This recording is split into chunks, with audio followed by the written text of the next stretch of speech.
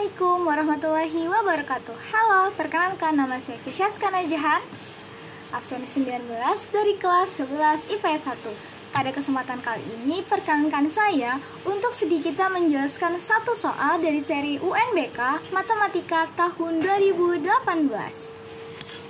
Aduh. Wah, apa ini? Kita punya soal yang akan kita bahas pada kesempatan kali ini. Hari ini kita punya soal diketahui. Gx sama dengan 3 min x dengan fx sama dengan 6x kuadrat ditambah 3x minus 9.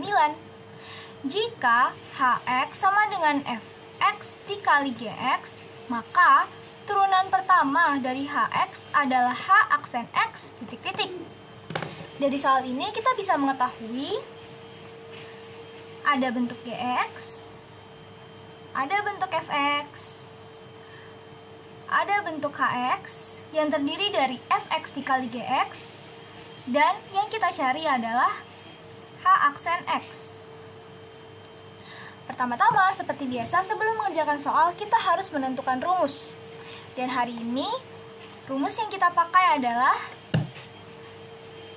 rumus F aksen sama dengan U aksen dikali V ditambah U dikali V aksen.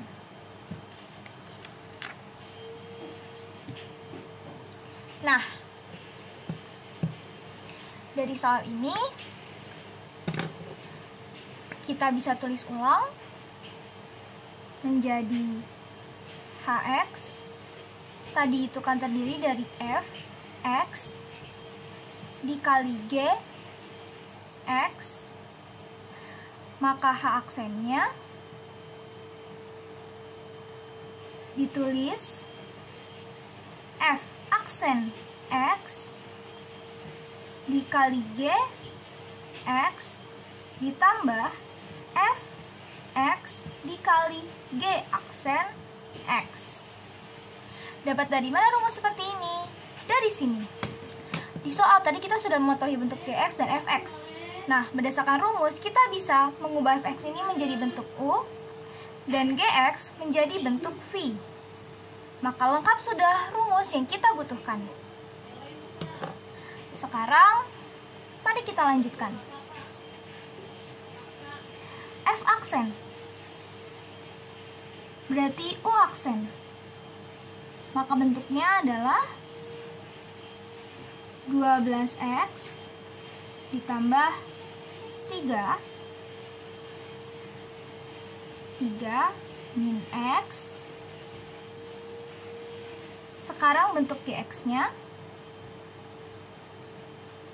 berarti ada 6x kuadrat ditambah 3x min 9 min 1 min 1 ini dapat dari F aksen atau G aksen X 3 ketika diturunkan menjadi 0 dan sisanya adalah min 1 karena 1x diturunkan menjadi 1 kemudian ada bentuk fx yang asli. Kemudian ada bentuk GX yang asli, seperti ini. Kemudian ada bentuk turunan dari fungsi fx, yaitu f aksen x. Dari bentuk seperti ini, kita turunkan 6x kuadrat menjadi 12x, 3x menjadi 3, dan minus 9 menjadi 0. Sekarang kita lanjut. Kita berlakukan perkalian pelangi, seperti biasa. 12x dikali 3 36x 12x dikali min x min 12x kuadrat sekarang 3 dikali 3 itu 9 dan 3 dikali min x berarti min 3x berlaku sama seperti yang sebelahnya.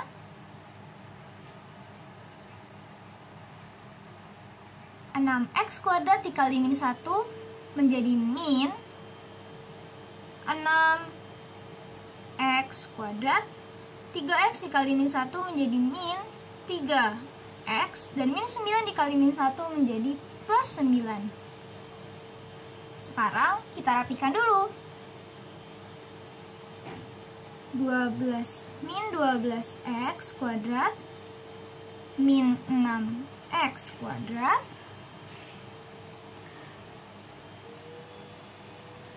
kemudian ada plus 36x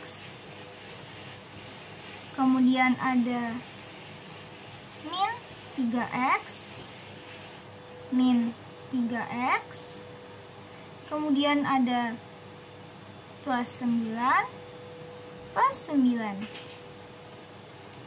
kita hitung. Setelah kita hitung kita dapat total ada min 12x kuadrat dikurang min uh, min 6x kuadrat. Hasilnya berarti min tambah min positif min tambah min bertambah jadi 18x kuadrat kemudian ada 36x dikurang min 3x dikurang min 3x berarti jadi plus 30x dan yang terakhir ada 9 ditambah 9 hasilnya 18 Tara, ini hasilnya. Dari soal ini kita bertemu. Jawaban bahwa ternyata bentuk turunan pertama dari hx atau h aksen x yang terdiri dari fx dikali gx dengan rumus ini adalah min 18x kuadrat ditambah 30x ditambah 18.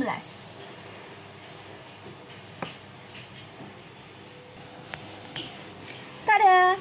Itu dia soal yang dapat kita kerjakan hari ini. Mohon maaf bila ada banyak sekali kesalahan, tapi semoga ini ilmu yang bermanfaat dan dapat dimengerti dengan baik. Wassalamualaikum warahmatullahi wabarakatuh.